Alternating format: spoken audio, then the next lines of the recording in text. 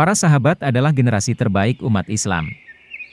Sebaik-baik kalian adalah generasiku. Demikian sabda Nabi kita yang diriwayatkan oleh Imam Al-Bukhari dan Muslim. Buku ini berisi kisah-kisah inspiratif bertabur hikmah dari generasi terbaik umat Islam.